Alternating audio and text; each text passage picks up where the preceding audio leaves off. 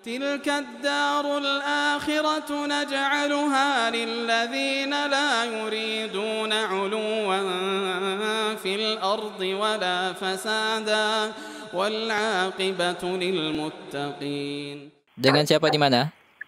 Dari Muhammad Hasan di Bantaeng, Ustaz. Baik, Pak Muhammad, silahkan pertanyaannya.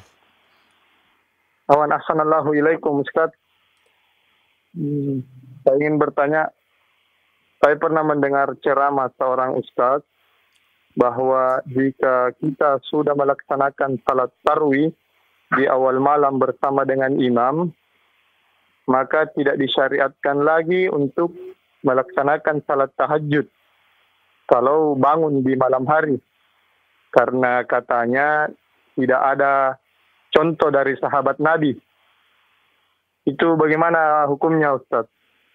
Baik. Syukran. Eh, sebentar, Ya, Pak Muhammad Hasan sebentar. Pak Muhammad Hasan, Halo? Halo, ya? Ya. Bapak di Banteng dengar melalui radio atau melalui aplikasi?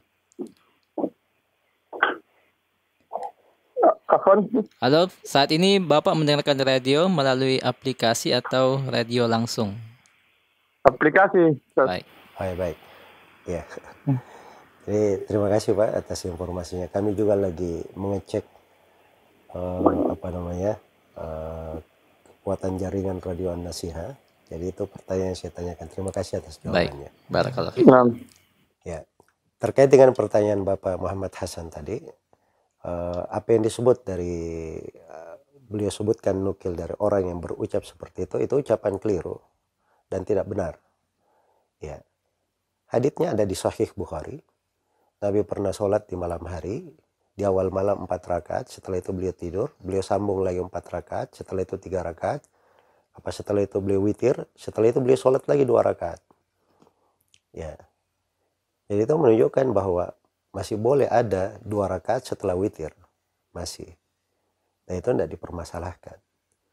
Ya kalau dia katakan tidak ada seorang sahabat pun yang melakukan, ini ada di dalam hadits Nabi.